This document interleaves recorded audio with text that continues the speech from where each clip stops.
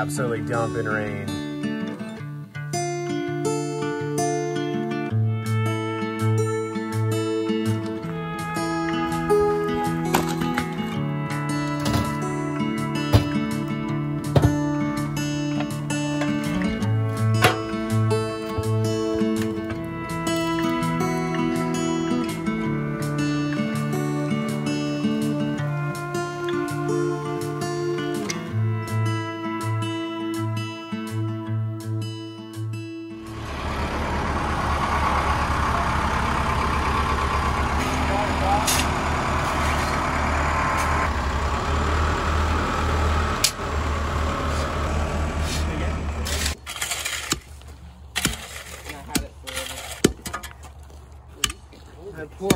Poor office dress. I realize that. That's why I It's was like, just a hair over. It might be like. 15. probably. Hey, but they're wet though. Oh look, one bubble's in the middle. That's because you're smashing your ass. Hey! All right. Moose, These are 12s, 10s. are you helping? What do you guys think of the salmon patties? Anna B? That was five.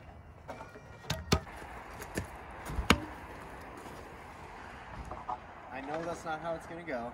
What do you think, Isaiah? Is this gonna is this gonna make some good tasting fish? Oh, yeah. What do you think, Dogs? Dogs. This is ice cream scooper salmon scraps patties, and they are ridiculous. This thing is coming together, fellas. What are you doing there, young man? Oh, making a stencil. That's awesome. Because instead of an outhouse, it's a fish house. So we're gonna have a little fish crescent on there. Yep. That's what I'm talking about. Don't laugh at that. You made the joke. Well, I wasn't making a joke. Oh, you're okay. No, I Okay. was being serious. All right. I was like, that- my legs are hurting because of this. That looks real comfortable. I'm okay with that. Uh, do you think it's gonna create enough draft? A fire pumping smoke into it. You don't? Do you think it's gonna make Good job. Ooh, sunk that one. Hey, can someone hand me? I can see the haters now. That's not how you make a smoker. That would have been so much better if you'd done this. What an idiot. Put it right over the top of the, the standpipe. All right, what'd you make here? I made a hole. It's an old, old burned out grill that we're gonna make as a smoke box. So this is gonna be a remote smoke smoker here. Indirect. It'll be exterior on the smokehouse. And we'll have our fire in there and we're gonna plumb it with dryer venting into the side of the smoker. Good work. We abandoned the uh, the electrical box idea. It's called a. Yeah, That's a good idea. You can even do three Well, that's what I'm saying. We need some kind of. I like it. Yeah, but I like that better. Smoker! Oh, 65 oh. I'm not touching that because I don't want to break it. Flip the flip it so the red sides are up. All the halves. What do you guys got there? Just a few fish. 500 pounds of fish. Yeah, boy. PTL. Oh yeah. All right, guys, that is a wrap to a very busy first day back in town. Got a lot done. Got the smoker roughed in, roughed together. All of our fish transferred. Figured out what ends up with our gear and everything. Good day.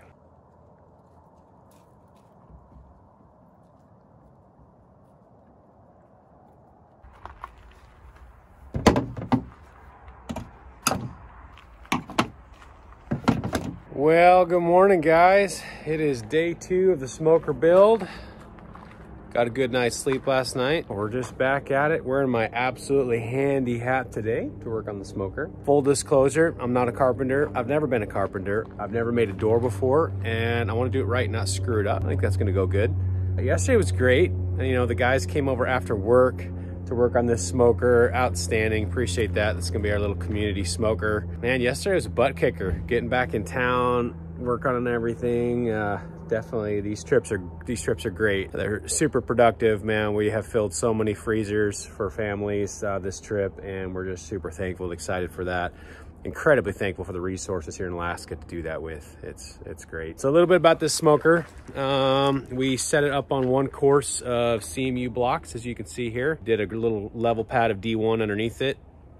As you saw yesterday. So again, we got one eight inch course of CMU for a little bit of elevation and then the smoker footprint itself. Uh, the front is uh, five and a half foot tall. The back is five foot tall. That is three foot by three foot. We ended up framing it just, you know, trying to obviously do it as low cost as possible. I had some two by fours in the yard that we did most of the framing with. Um, don't uh, hack me on that. Again, we're just kind of figuring out as we go.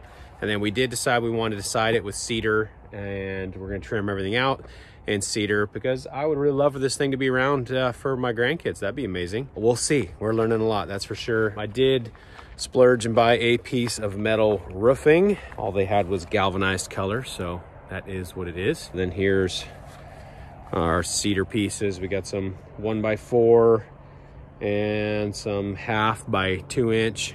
Uh, we're gonna be doing most of our trim with. And then I've got some two by twos here that we're gonna be building our shelves. And then we went with chicken wire, a couple different sizes. We got the fine mesh for if we're doing small pieces of smoked salmon meat. And then we've got the larger mesh here um, that we're gonna be doing for bigger full fillets, that type of thing. We're just kind of sorting this out as we go here. Our first thought on the smoker was that we were actually gonna build a fire in the bottom, which we still can have the option to try that later if we decide we wanna do that. The challenge with that is that you're gonna have direct heat and direct smoke at that point, and so you have to start your fish up higher on the unit um, so that you're not just blasting it with heat and you actually have some time to get some smoke in there before you just dry that that fish out and overheat it. Um, and so we decided to try out a indirect heat or indirect smoke uh, route. And so I had an old, worn out, burned out barbecue grill, cheap Chinese piece of junk. And so we're gonna try that and see how that works. The cool thing about that is when you have your indirect smoke, over here coming in, then we're gonna have a lot less heat. So we're gonna stack our shelves in here six inches apart, starting down low, and we're gonna give that a whirl and see how that works. Um, I think I think it's gonna work pretty good. The limitations with that is going to be what does it actually take to keep a fire going in this beast? We just have to constantly feed it. We don't know. So that's kind of the basics on that. So as far as today, Still need to put a roof on this puppy and build a door. I want to do it the right way, so this might take me a little bit of time. If I'm to do it, I definitely want to do it right so it's not a piece of garbage that I'm staring at all the time, regretting building it. Yeah, that's what we're to do today. Okay, I could only imagine that a few of you out there are going, what on earth does fishing in Alaska and a smoker have to do with excavation and business? That's an excellent question to ask. And in all honesty, I feel like it's in the name of the channel, right? This is Arm Septic Alaska Family Business Channel. And I mean, we could sit and talk about business finances, business strategies, marketing, excavation, equipment, uh, business techniques, which is all fine and well and important, and we will be discussing a lot of that on this channel. But See, we desire to bring a little bit different perspective um, to the excavation business. In reality, usually nobody gets to see like what actually happens behind the scenes of having a family business. Um, no one gets to see the the struggle. What is the what does it look like to have good quality family time and that sort of thing? And so, um, you're going to see a lot of that on this channel. And so especially, I mean, we're in a prime position here in Alaska because we have super fun adventures, amazing things that we get to take part in and do. And it's just a great unique perspective to show kind of the behind the scenes and inside of what is it like to run a family business? What does it like look like to have quality family time? What does it look like to actually have a thriving family life, a family uh, thriving marriage outside of the day-to-day business grind? Um, and so you should really expect to see a lot more of that. We're building a smoker. That's just part of family life. And as you can see, our guys coming over last night after work. They they love being family with us. They love doing this kind of stuff. They love harvesting fish and having adventures with us. And that is part of our business strategy. That's how we've built a community and a family, not just the the immediate family, the Campbell household, but it's a the Arm family. It is it's more than just a job.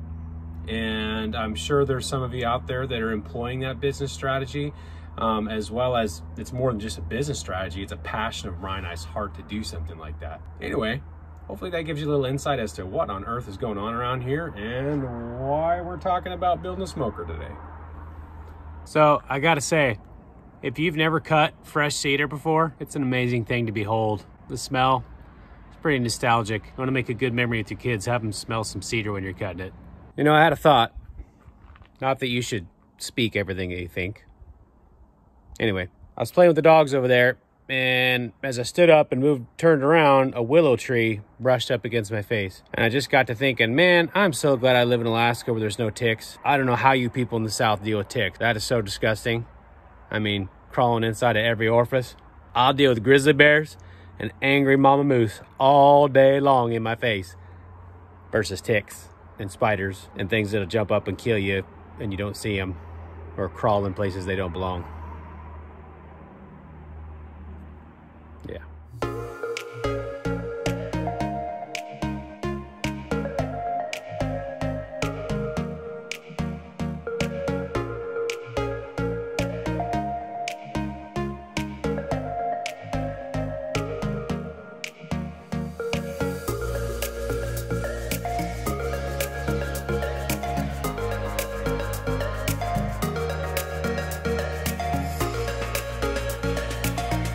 All right, guys, check it out. think she's coming along. Put on this front cedar, short little pieces, a topper, then cut these super challenging things. Don't mind the air gaps, it's all gonna get trimmed out. Yeah, it's a fun, fun little project. It smells ridiculous, I can't even tell you, this thing does.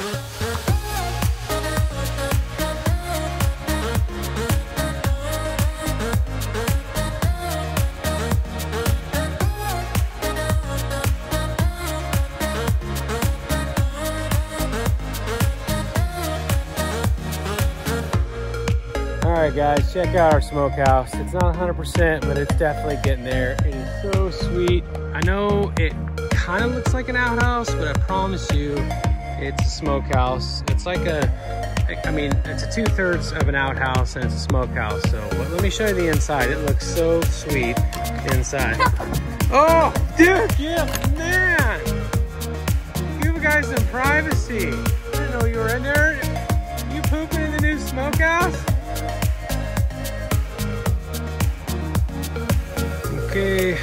Everybody. Getting close. I am out of cedar trim.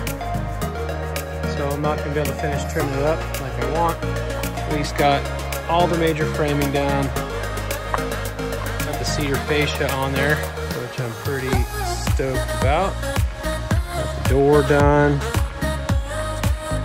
Uh, but it works really nice. Everything lines up really well. The door's nice and sturdy. Got the modified Z in there, which should keep it from racking on us. So once I get a metal roof and some flashing on there, and then obviously the trim all dialed up, this thing should last a long stinking time. I think if it's taken care of, this thing ought to last just an incredibly long time. You're my Fisher daughter, and my Fisher girl, mom's fishing daughter. So I'm out here putting finishing touches on this thing. My wife makes me a steak dinner, that I'm working hard. And Gabby got a hot pot. I'm gonna get the roof on here tonight, and uh, she'll be ready for smoking before the end of the weekend. That's what I'm talking about. Excited about that. All right, guys, low light, late night video. It's 10 p.m. I just had to get one shelf finally done in here. So here you go. Two by two frame, half inch mesh, chicken wire. I would assume we're gonna have to make a hot fire to uh, get rid of that galvanized in there because I don't want to get poisoned. So we did not make them full depth for a reason. Right now, it's quite a bit of work for me, and I got a pretty long wingspan um, to get all the way in here. So Mariah, obviously, needs to be able to reach in there. And then also, we wanted to leave a little bit of room here in case we wanted to actually hang some meat in here. So shelf number one done. Put a little bit of metal flashing up there on the front edge to make a little makeshift drip edge for the metal roofing there. That should work out pretty good. Yeah, she's coming together. I still really want the trim done on here, but it is what it is.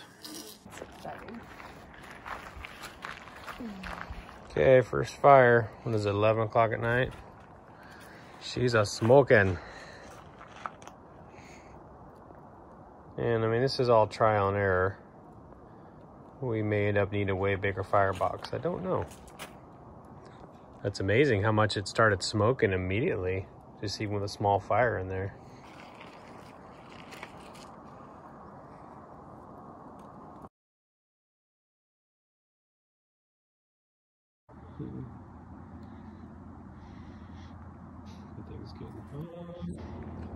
I got way too much. Wouldn't it? Did you open it?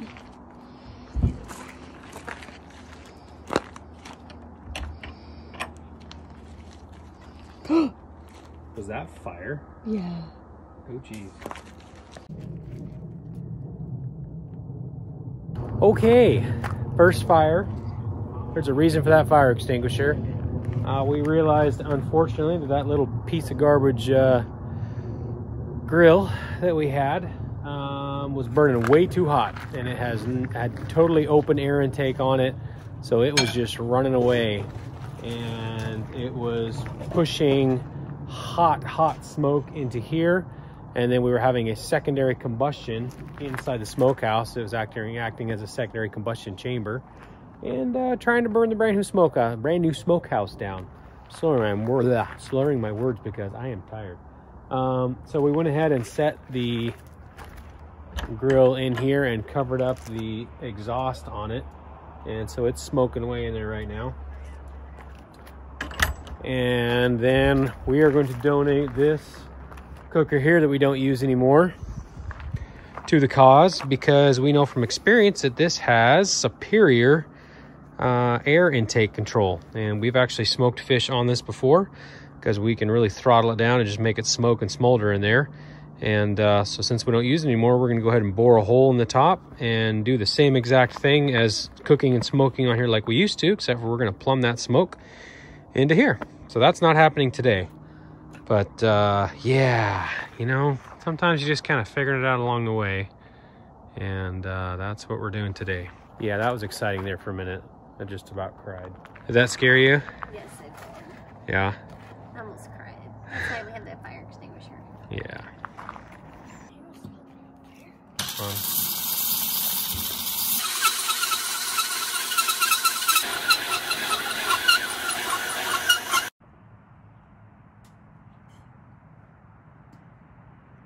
Did you? It's slowly smoldering. All right. Check that out. Okay, guys, we got the smoke generator 2.0 engaged. I busted a bit on the hole saw, so I had to go buy a new hole saw assembly, a much sharper, better quality one.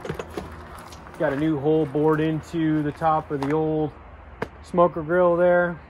Got it all plumbed up. Got a small little smoldering fire in there. I mean, it's almost no flames, which is exactly what you want. We can just choke the air down on that. It's working awesome. We got smoke pouring out of this thing. No secondary jet flames going on here. Ready? Are you ready for this? Oh, baby. Oh, baby, baby. That smells so good. Look at that, pumping out of there. That smells so much better than before. Before it smelled hot, like a metal burning smell. Yeah, that was not good. So if you're ever doing a project like this, do not use a very hot firebox. It's gonna screw everything up. It's gonna melt the paint off everything and it's gonna burn down your smokehouse. So now you know. Here is our canning and smoking station. We're gonna be setting up the canner canning a ton of fish, smoking fish. Look at that. Look at that. I'm sure we'll have to tweak it and dial it in, but she is a smoking. Okay.